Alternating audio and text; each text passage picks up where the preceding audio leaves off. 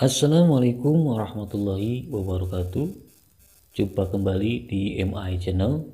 Dalam kesempatan ini saya akan men-share kepada Anda cara login ke Facebook tanpa menggunakan password. Seperti ini contohnya saya tidak akan mengucapkan password. Ini akun Facebook saya menggunakan email. Jadi saya tidak akan mengetik eh, passwordnya langsung masuk aja. Nah gimana caranya? Nah sebelum kita ke caranya seperti biasa untuk anda yang baru bergabung di channel ini tak bosan-bosan saya menyarankan untuk mengklik tombol subscribe lalu tekan loncengnya agar channel ini tetap berkembang. Oke guys bila sudah mengklik tombol subscribe kita langsung ke caranya. Oke guys ini saya akan masuk ke akun Facebook saya menggunakan uh, email ya. Nah, persyaratannya harus akunnya harus menggunakan email ya. Jangan menggunakan nomor handphone. Kalau menggunakan nomor handphone tentu saja tidak akan bisa ya. Jadi email harus menggunakan email ya.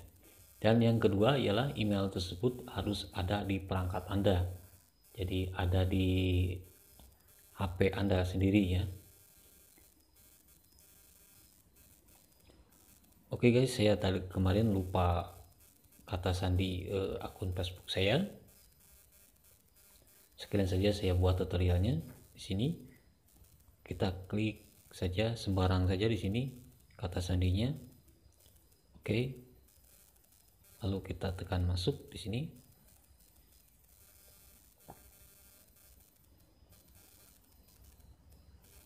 Kita tunggu sebentar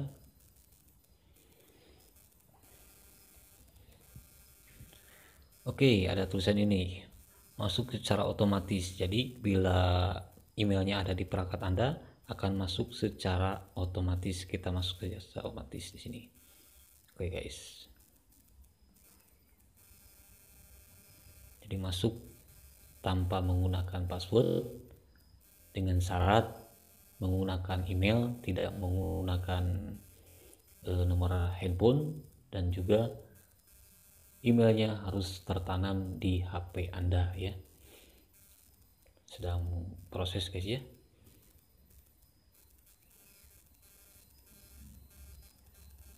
Nah, sudah ada nih guys ya.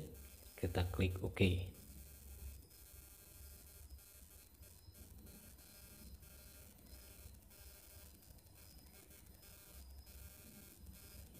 Oke, sedang masuk ke Facebooknya.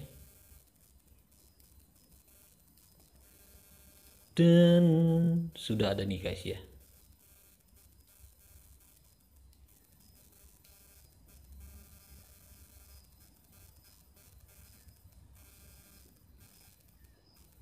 Nah, sudah kebuka nih. Akun saya yang satunya lagi nih. Dan berhasil guys ya. Sudah masuk nih ke akun Facebook saya yang satunya lagi ini. Jadi tidak menggunakan password dengan syarat yang tadi saya sebutkan tersebut ya. Jadi untuk anda yang mau cobanya silahkan simak baik-baik agar tidak terjadi perdebatan di kolom komentar ya Oke okay guys, untuk Anda yang suka dengan video saya, silahkan klik tombol like, lalu share ke media sosial Anda. Uh, sekian dari saya, semoga bermanfaat. Wassalamualaikum warahmatullahi wabarakatuh.